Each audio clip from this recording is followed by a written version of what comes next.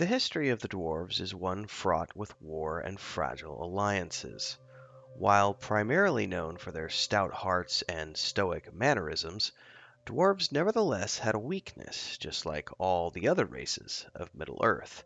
In their case, a love of coin and shiny things. This greed was ultimately what led to many of their trials and tribulations over the years. But to truly understand the history of the dwarves over the span of time within Middle Earth, we have to go back to the beginning of the First Age. And while the exact timeline is unknown, sometime after the elves had awoken, the seven fathers of the dwarves were released from their stone chambers and first saw the light of Middle Earth. The eldest, Durin the First, wandered for some time until he founded the city of Khazad-dûm in the natural caves beneath Barad-dûr, Zirakzigil, and Bundushathûr, three mighty peaks. This city, populated by the Longbeards, who were also known as Durin's folk, grew and prospered throughout the First Age. Meanwhile, far to the west of Khazad-dûm in Ered Luin, the great dwarven cities of Belegost and Nogrod were founded during the Years of the Trees, before the elves arrived in Beleriand. The dwarves of Belegost were known, among other things, as being the first to forge chainmail armor, and they also traded weapons of various types with the Sindar. These were also the dwarves that carved the thousand caves of Menegroth for Thingol, the lord of Beleriand. At the same time, in Nogrod, the dwarven smith Telchar forged Narsil and Angrist, a pair of weapons that would go down in history as two of the most important weapons in the history of Middle-earth, as well as the famed dragon helm of Dor-lómin, the Land of Echoes. But not all was peaceful for the dwarves of the First Age.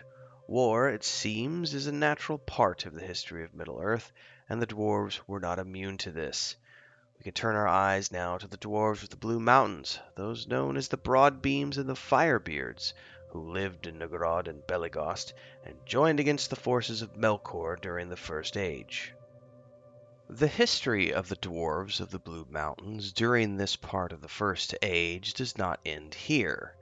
They not only played a great part in the making of Thingol's halls of Menegroth, but also later aided in the delving of Nargothrond, which was the stronghold built by Finrod Felagund, which delved into the banks of the river Narog in Beleriand.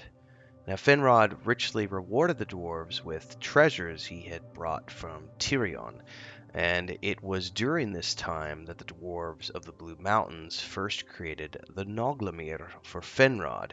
Now, this was the most renowned of their works from the First Age, also known as the Elder Days, and it was an item of worth that would come to haunt these two families of dwarves later on in the First Age, ultimately leading to the ruin uh, at, well, we'll get into that later on in the video, so just stick around.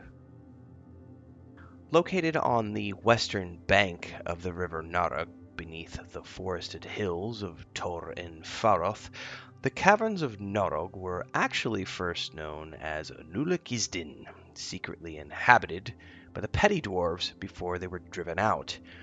And from its first conception, the name Nargothrond translates to underground fortress on the river Narog its petty dwarvish name, of course, being Nulukkizdîn at one point in time, but as was his wont, later in life, Tolkien changed things and ultimately devised the dwarvish name Narukathan instead, to which the elves then suffixed Rond to become known as Vaulted Dome. Also worth noting is that in Ariel's Old English translations, Nargothrond is referred as Heilindingaburg, city of the Heilindingas or Stengelborg. I'm probably butchering some of those, but hey, it is what it is. We have we have fun with these. The dwarves of Belegost were known as the only people capable of surviving the lethal dragon fire and the battle of unnumbered tears. This was the fifth battle in the Wars of Beleriand, fought against the forces of Morgoth, also known as Melkor, and its name was taken from the first words of the Doom of Mandos, where it was said, Tears unnumbered ye shall shed. This battle was a major moment in the war as the elves took heavy casualties, which ultimately allowed Morgoth to gain dominance over Beleriand. But despite this fact, the dwarves had their moment of glory when Lord Azaghal, who unfortunately passed in the battle, nevertheless stabbed Glaurung, the first dragon, marking a moment of historic glory for the dwarves.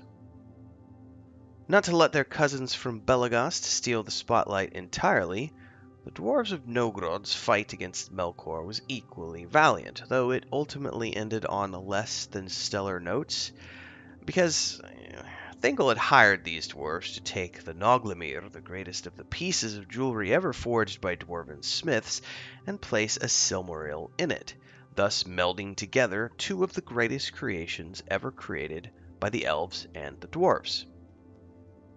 But by the time the dwarves had finished working on the Nauglamír, the Silmaril had unfortunately worked its magic on them, and the dwarves had become obsessed with the necklace, asking for it in payment for their labor. Now, Thingol had come alone to the meeting and became quite infuriated with the dwarves. Uh, he believed they had grown obsessed with the necklace because of the Silmaril, and he wasn't incorrect, but he himself had also become obsessed with it, and he refused the dwarves' request. It was not a pleasant encounter.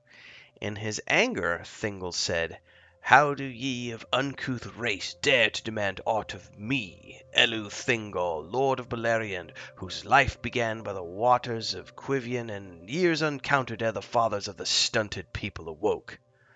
Naturally, the dwarves were a little upset by being called stunted people, and they killed Thingol, taking the Nauglamír and fleeing. A number of retaliatory actions followed this, and the Nogrod army was eventually destroyed by a force of the Laiquendi and Ents. Both of these dwarven kingdoms would eventually be destroyed, along with nearly all of Beleriand after the War of Wrath, and the Dwarvish refugees mainly resettled in Khazad-dûm. If we go back to the beginning of this video, you'll recall they had prospered during the First Age in relative peace, colonizing the Iron Hills and the Grey Mountains and trading with the ancestors of the Northmen. The history of the dwarves does not end with the First Age, however, and while the Third Age was perhaps the time when the dwarves are most well known for their exploits, there was still plenty of action for them during the Second Age, which we will be exploring in the next video, so make sure to stay tuned for that. If you liked this video, don't forget to like, subscribe, and hit that bell icon, and support the channel to keep me on the air. Join as a member of the Adventurers Guild down below, support with a super thanks, or if you're here doing a premiere or live stream, don't forget to use super chats and stickers. Don't forget the Patreon page. We'll see everybody in the next video.